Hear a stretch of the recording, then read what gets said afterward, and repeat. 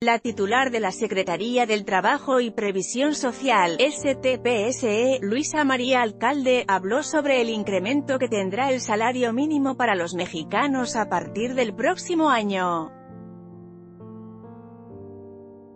En este sentido, la funcionaria refirió que en 2019 el salario pasará de 88,36 a 102 pesos diarios, mientras que en la frontera norte este será de 176 pesos. Con dicho incremento, Luisa María Alcalde refrenda el compromiso del gobierno del presidente Andrés Manuel López Obrador, AMLO, con avanzar en una política salarial diferente, cuyo objetivo es recuperar los ingresos de los trabajadores. Entrevistada al respecto por el Universal, alcalde Luján enfatizó que este aumento no creará inflación en la frontera norte, tal y como se había especulado anteriormente en medios de comunicación.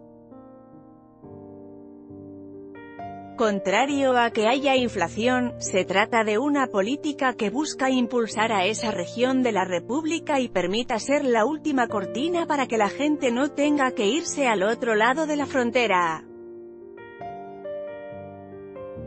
Así pues, destacó que la propuesta de aumento al salario mínimo es que el nuevo gobierno pueda llegar a lo que establece el Coneval sobre la canasta básica y no alimentaria para una persona.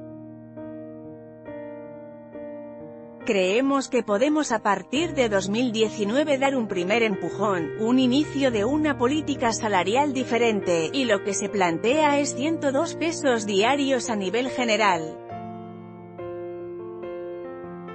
En otros temas, la secretaria de Trabajo y Previsión Social refirió que en próximos días presentarán una iniciativa al Congreso que pretende una transición paulatina en materia de justicia laboral para pasar de las juntas de conciliación y arbitraje federales y locales a tribunales.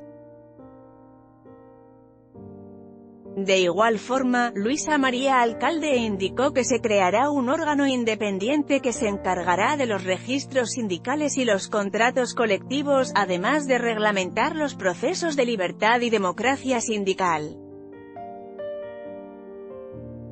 Con información del Universal anímate a comentar. Queremos saber tu opinión. Comentarios Powered by Facebook Comments.